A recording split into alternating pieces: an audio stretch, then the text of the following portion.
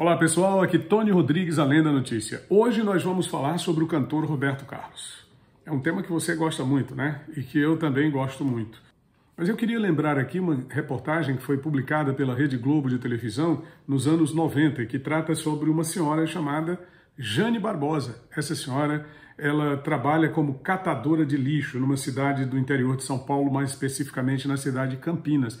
E ela descobriu um verdadeiro tesouro no lixo lá de Campinas. Ela descobriu preciosidades do rei Roberto Carlos. Eu, inclusive, fiz uma matéria para o nosso Piauí no ar e coloquei o seguinte: já no primeiro, na, na chamada, eu coloquei, alguns anos atrás, essa mulher tornou-se nacionalmente conhecida por uma descoberta no lixo. Ela sobrevive como catadora em Campinas, São Paulo. Jane Barbosa atua na área da reciclagem.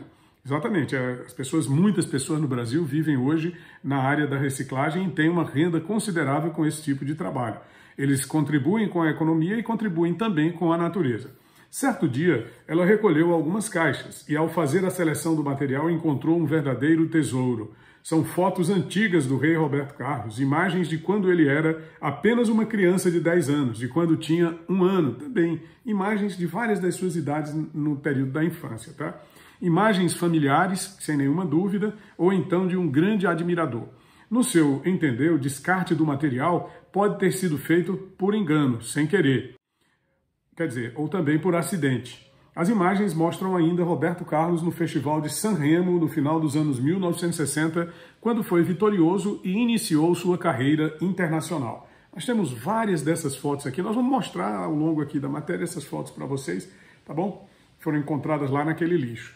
Ali também ele começou a mudança no seu conteúdo musical. A partir dos anos 1960, do final daquele festival de San Remo, ele começou a mudar o seu conteúdo musical. Saiu do período da Jovem Guarda, né, das músicas mais é, agitadas, mais animadas, é, para essas músicas que são hoje o conteúdo principal da sua obra, que são as músicas românticas. Quer dizer, antes era o campeão da Jovem Guarda, o apresentador do programa de maior sucesso entre os jovens daquele tempo. A partir de então, ele torna-se um cantor romântico e voltado para cantar a alma e o coração dos amantes. Jane, a mulher que cata lixos, e eu espero que ela esteja viva ainda, porque essa matéria já faz muito tempo, né? Seria até muito interessante é, rememorar esse caso fazendo uma nova reportagem com essa mulher. Ela ficou emocionada com a descoberta. Um ano antes, ela tinha encontrado um compacto simples com os primeiros sucessos gravados pelo rei em 1964.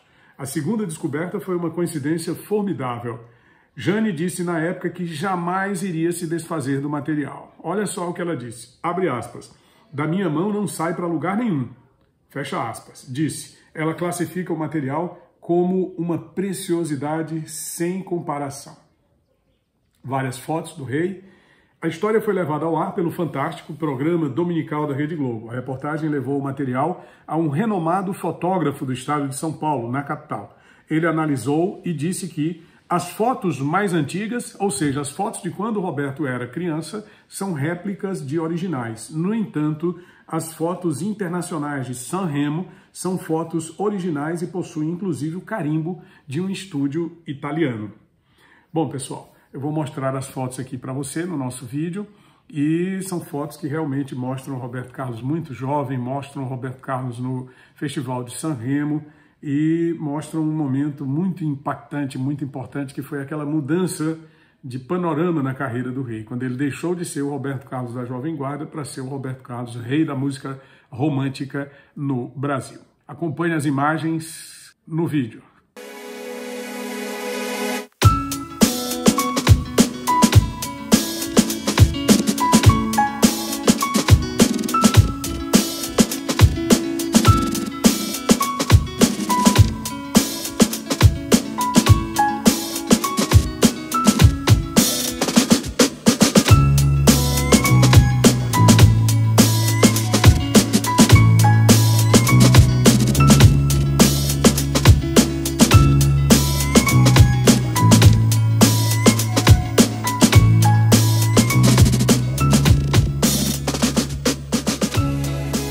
Voltando aqui, rapidamente, eu queria citar para vocês um fato que me chamou a atenção.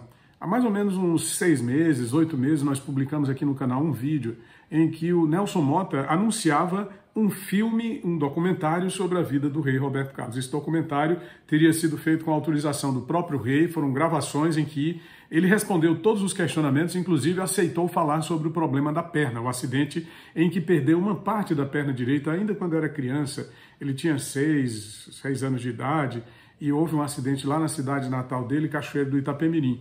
Ele aceitou falar sobre isso, né? E tudo que foi perguntado ele respondeu.